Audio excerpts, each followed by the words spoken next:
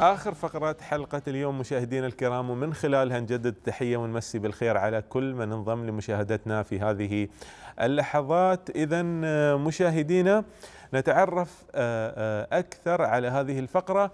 حيث اهتم العرب قديما بالفلك والنجوم فهي ضرورية لحياتهم ومواقيتهم فكانت النجوم علاماتهم ودليلهم التي اعتمدوا عليها وكانوا يستدلون بها في رحلاتهم يعني هذا كان واضح سواء من خلال قراءتنا للكتب التاريخية والكتب المختصة في هذا العلم بالتحديد. للتعرف أكثر على النجوم وأهم النجوم التي يعتمد عليها العرب معنا اليوم الأستاذ إبراهيم الجروان نائب المدير العام لمركز الشارقة لعلوم الفضاء والفلك. مساك الله بالخير أستاذ إبراهيم وحياك الله معنا. الله يحييك الله. يحفظك.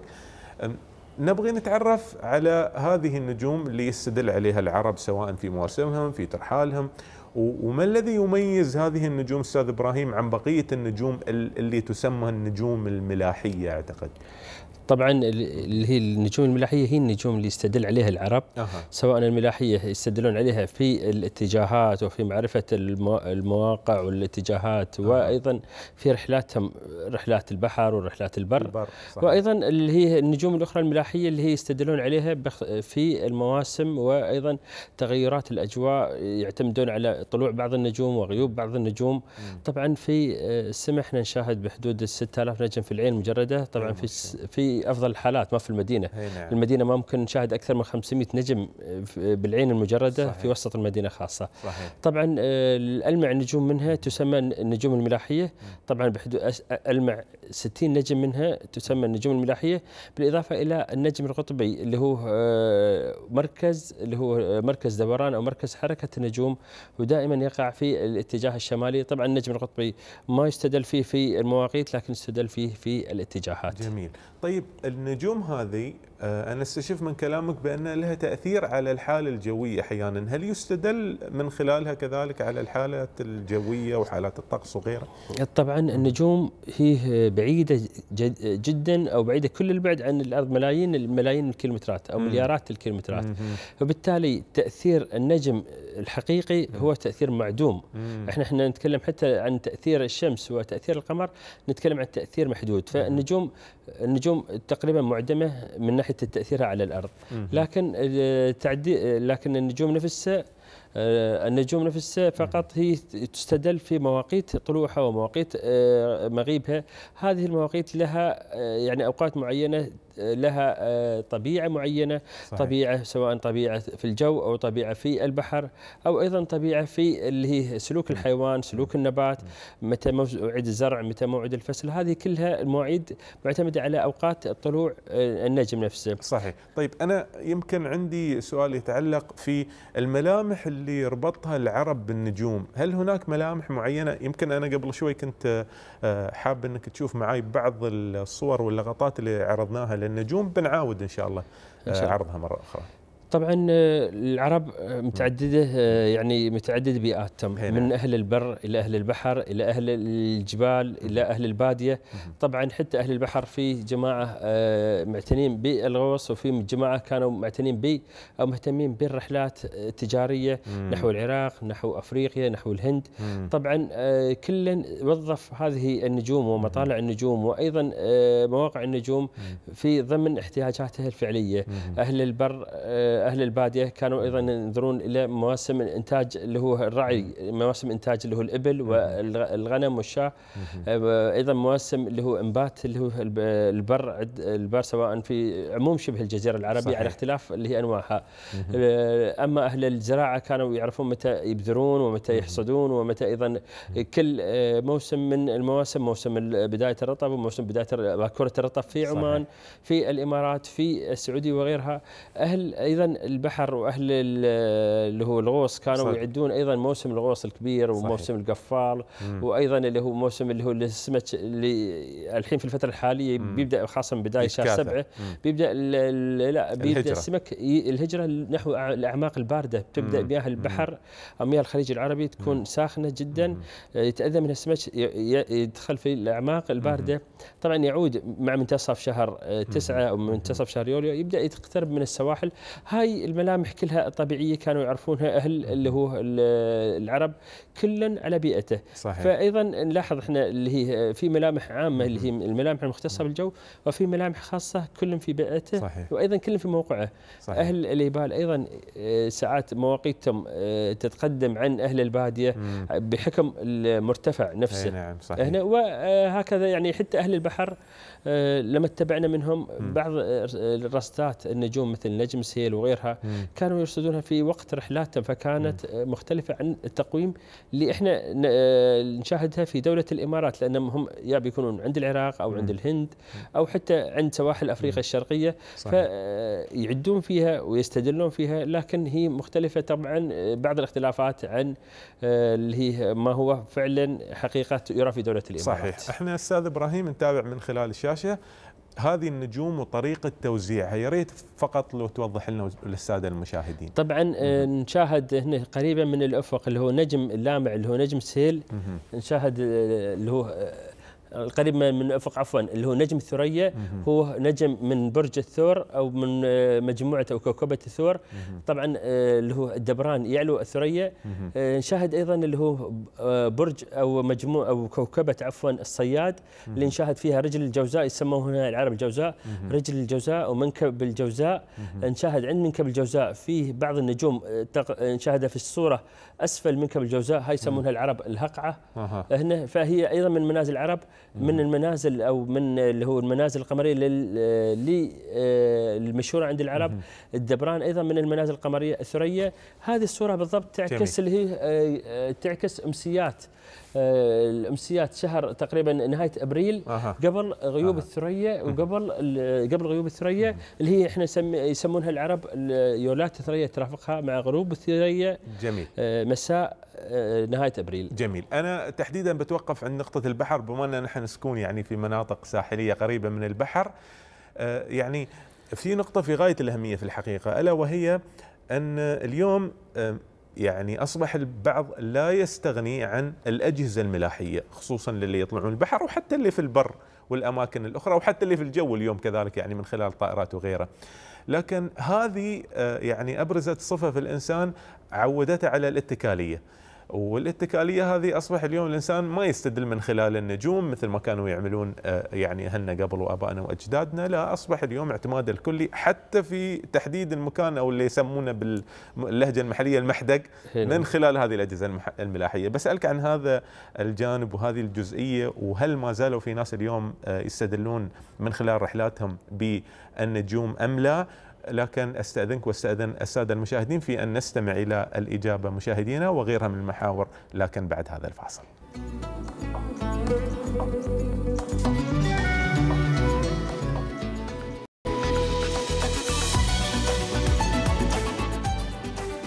يا هلا ويا مرحبا بكم مشاهدينا الكرام. هذه عودة لاستكمال فقرتنا الأخيرة مع الأستاذ إبراهيم الجروان نائب المدير العام لمركز العلوم لمركز شارقه لعلوم الفضاء والفلك. حياك الله من جديد أستاذ إبراهيم. الله كنت أسألك تحديدا عن آه، دخول الأجهزة الحديثة الأجهزة التقنية والتكنولوجية في آه، آه، هذا المجال تحديدا مجال الفضاء والفلك وتحديد المواقع وغيره. أصاب يعني هي لها آثار إيجابية بالتأكيد ولها جانب إيجابي لا ننكر هذا الأمر ولكن كذلك البعض ربما آه، أصيب بالاتكالية نتيجة أو جراء استخدام والاعتماد بشكل كلي على هذه الأجهزة سواء في البر في البحر في تحديد مواقيت الصلاة وغيره. أنت اليوم ما رأيك في هذا الجانب؟ يعني هل آه، اليوم هذه الأجهزة يفترض أن نحن نعتمد عليها بشكل كلي أم هناك رأي آخر؟ طبعا الأجهزة هاي أول شيء إحنا لا غنى عنها عن التكنولوجيا الحديثة واستخداماتها. صحيح. آه لكن مثل ما ذكرت أنت هي آه تسبب الاتكالية. أيضا تسبب آه عدم اللي هو الإدراك. الحين الشخص اللي بسأله عن موقع معين في ال GPS أو غيره بقول ممكن هو يستدله عن طريق ال GPS لكن بقول له أوصف لي المكان. ما يقدر يوصف المكان. غير عن الشخص اللي يكون مدرك مدرك اللي هو الطريق نفسه إلى المنطقة نفسها. العلوم الملاحية لا تقتصر بعد على النجوم. هناك تقتصر مثل تقتصر على شواهد أخرى إحنا نسميها الشواهد.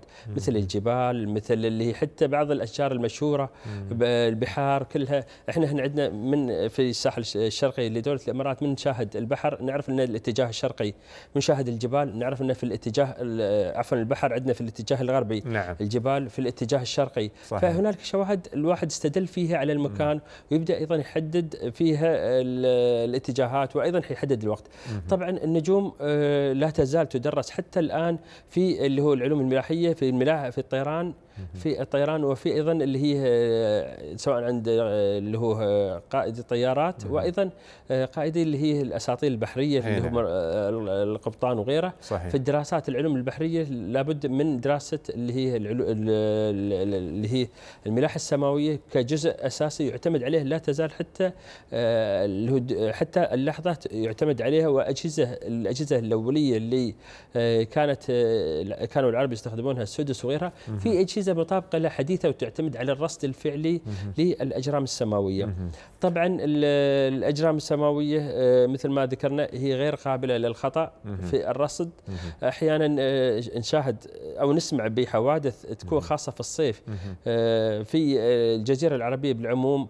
يكون الشخص أخذ الاتجاه الخطأ بالرغم من كونه من كون عنده التليفون وعنده ال GPS وغيره لكن العطل التكنولوجي كان يؤدي إلى كارثة ويؤدي إلى حياة أسرة تاهت في الصحراء سواء في الصيف أو في الشتاء بسبب عدم الإحاطة باللي هو المعارف الأساسية صحيح. عن الملاحة أو عن العلوم الملاحية. وأدت لحالات وفاة في الحقيقة. اليوم يعني خلينا نقول ما هي ابسط المبادئ الأساسية اللي من خلالها يمكن أن نتعرف على يعني خلينا نقول طالعين رحلة بر ولا بحر نبغي نعرف جهة القبلة آه، مثل ما أنت تفضلت تبغي تعرف المكان الأقرب إلى المدينة أو إلى الساحل بدل ما تتجه إلى الجهة الخطأ وبالتالي ربما يتعطل الجهاز وقد يؤدي إلى حوادث لا تحمد عقباها. طبعا قبل ان يعني أسرب أو أعقب على السؤال في تعقيب بخصوص إن بعض في حوادث أخيرة سمعنا بها إن شخص تاه في الصحراء أيضا في منطقة في الجزيرة العربية وكان على بعد ساعتين مشي من أقرب قرية أو مدينة. اللي جهل منه في الملاحة أو في العلوم الملاحيه أو في المعارف نفسها طبعا اتخذ الاتجاه الخطأ وتعمق في الصحراء مشى تقريبا ست ساعات وعثر على عثروا على جثته في عمق الصحراء بالرغم من أن السيارة المتعطلة كانت قريبة من المدينة أو من قرية آه، مسافة سبحان آه، ساعتين مشي. طبعا آه، الأقرب إحنا يوم تكلمت عن العلوم الملاحية العلوم الملاحية الجزء الأساسي منها العلوم اللي هي الملاحة السماوية اللي هي تعتمد على مواقع النجوم ومواقع الأجرام السماوية الشمس القمر. كذلك مثل ما ذكرت قبل شوية اللي هي تعتمد على بعض الشواهد الجبال وغيرها وبعض الملامح التضاريسية الثابتة. طبعا ال ال إحنا هنا في دولة الإمارات يعني نعتمد على الحالتين. يعني عندنا معالم تضاريسية واضحة الجبال الحجر عندنا البحر. وكذلك اللي هي النجوم يعني أنا أتكلم عن الآباء الأولين كانوا يعرفون يعرفون إن البحر في اتجاه القبلة في اتجاه البحر بالنسبة للساحل الغربي لدولة الإمارات. لو تشوفون إيه، نجم القطبي أو الياه يعرفون متى ما استقبلت الياه استقبلت الياه فبتكون اللي هي على إيدك اليسار القبلة أو في الشمال اللي هو في اتجاه الغرب. فهذه الأشياء كان العرب يعرفونها أو أهل المنطقة يعرفونها. ممكن النقطة الأخيرة اللي ذكرتها هاي تكون في دولة الإمارات لكن أي منطقة أخرى في العالم طبعا ما تصح فيها لكن هي تؤثر في أو تختص فيها دولة الإمارات أو تختص فيها هذه المنطقة. وكل منطقة لها ملامحها ولها خصائصها البيئية المختلفة. ذكرت أسماء بعض النجوم اللي دائما ما يذكرها العرب في الحقيقة مثل الياه أو السهيل أو الثريا. يعني ارتبطوا فيها العرب ارتباط كبير حتى في قصائدهم حتى في أسمائهم الشخصية. يعني آه، اسم الثريا يعني هذه من أسماء الإناث. البعض كذلك يسمي سهيل أو الياه أو غيره. طيب اليوم يعني ما سبب مثل هذا الارتباط؟ لماذا يذكرها العرب دائما في الحقيقة؟ وما هي حقيقة مثل هذه التسميات ومثل هذا الارتباط؟ طبعا العرب آه، تعلقوا بالسماء من فجر تاريخ ممكن لصفاء الجو عندنا هنا في الجزيرة العربية بالعموم. وأيضا آه، السماء صافية قلة السحب والغيوم والأمطار آه، تبدأ بدأ الناس ما عندهم معالم يطالعونها في هذه الصحراء الشاسعة بدأوا يتوجهون للسماء. تخيلوا فيها نهر المجرة. ما عندهم نهر في الجزيرة العربية وضعوا فيها نهر. قالوا هذا نهر المجرة أو نهر مجرة درب التبانة. الثروة الثريا قالوا لما تظهر في تطلع مع وقت الثروة اللي هي وقت الرطب الحين هي تصير للثروة. قالوا اللي هي هاي ثريا وأيضا أطلقوا عليها طلوع. اللي هي تفاءلوا بطلوعها. السهيل السهيل هو في الجنوب. في الجنوب بالنسبة لمعظم أهل الجزيرة قالوا السهيل اللي هو السهيل اليماني. بالنسبة إلى اليمن في الجنوب. وأيضا وضعوا أساطيرهم كان هو عشار وهرب عشار أو قاطع طريق وهرب إلى إلى الجنوب فهرم فيه. فحتى في الطبيعة لما نشاهد الحين مشاهدة آه، نجم آه، لامع وحيدا وسط مجموعة من النجوم النجوم الخافتة. فوضعوا فيها أساطير آه، أيضا وضعوا فيها أشعار وقصائد. بعض الشعراء اللي هم الذين يعني أبدعوا أحدهم كان الربيب بن الرب ما يحضرني اسمي لكن نعم. في أحد الشهراء والله في الحقيقة كثيرين من الشعراء آه، سواء اللي آه، يشعرون بالشعر العربي الفصيح أو حتى بالشعر النمطي أستاذ إبراهيم، لكن يمكن أنا أبغى أستغل الوقت المتبقي، أبرز ملامح الموسم الحالي والموسم المقبل كذلك أستاذ إبراهيم. طبعا آه، السيل طلعت أو طلع اللي هو نجم الثريا. في الشهر الماضي إحنا هنا في الجزيرة العربية يشاهد في دولة الإمارات يشاهد نجم الثريا. تقريبا في صبيحة السابع من يونيو.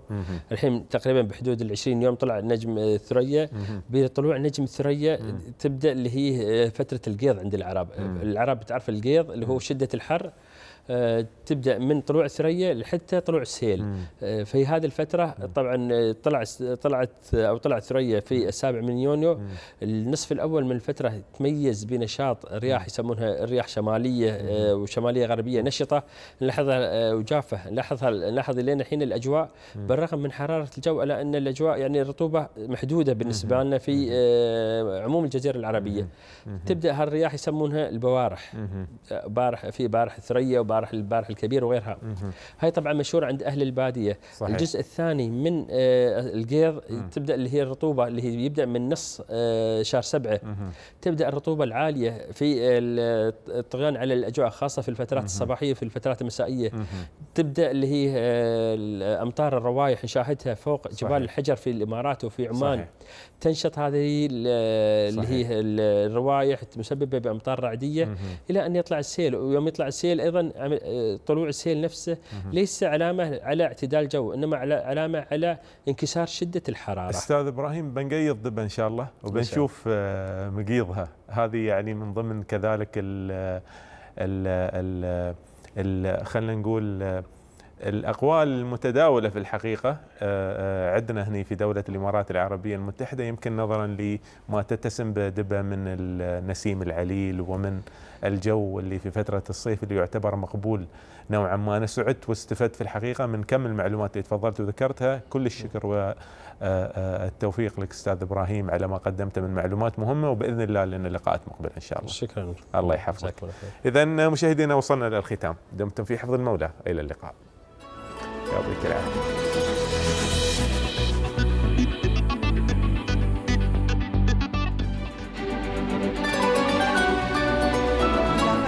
هذه الحلقة بإمكانك متابعتها في أوقات الإعادة أو على الموقع التالي.